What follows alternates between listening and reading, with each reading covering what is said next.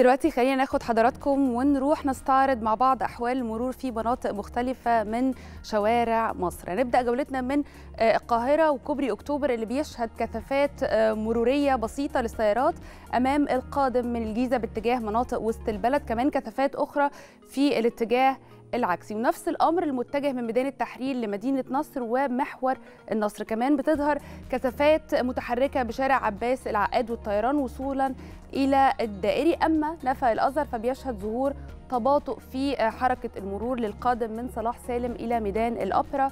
والعكس.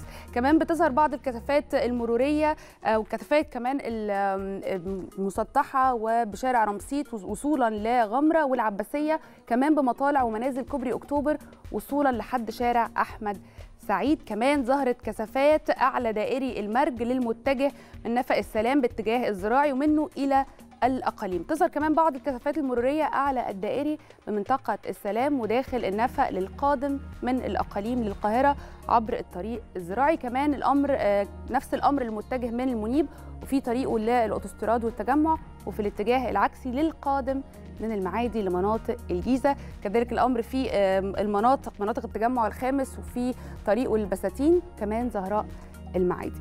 طيب نروح نستكمل جولتنا في شوارع الجيزة. في كثافات على طريق المحور للقادم من ميدان لبنان بسبب أعمال توسعة الطريق وغلقه في بعض المناطق. الكثافات دي هتستمر لغاية ميدان لبنان.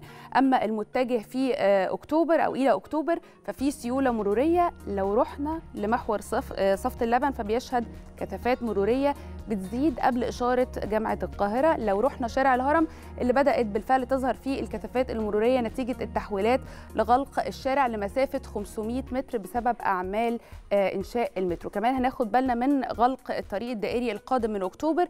ولازم الاتجاه من نفق حازم حسن إلى محور 26 يوليو أو محور رود الفرج كبديل للطريق. أما القادم من طريق الواحات فيفضل الطريق السياحي الجديد. ميدان سفنكس كمان لسه في كثافات مرورية بسبب أعمال إنشاء محور 26 يوليو الموازي وغلق بعض المنازل ومطالع كوبري 15 مايو.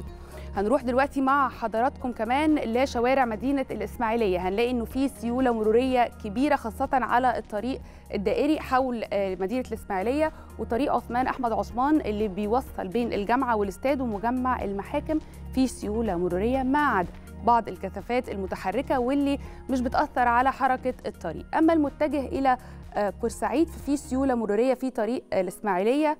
بورسعيد من منطقه من منطقة القناة إلى جنوب الصعيد هنكمل كمان مع محافظة سوهاج اللي هنبدأ فيها من محطة قطار سوهاج واللي الطريق عندها بيشهد كثافات نسبية. نمشي كمان نشوف الطريق طريق عبد المنعم رياض اللي بيربط عدة طرق رئيسية ففي سيولة كمان مرورية وفي بعض الكثافات المرورية أعلى نهر النيل كمان الطريق المؤدي للجامعة.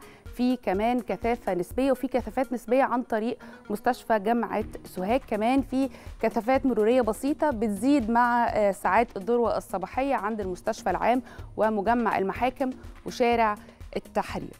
طيب ده بالنسبة للجولة كده جولة سريعة عن أحوال المرور.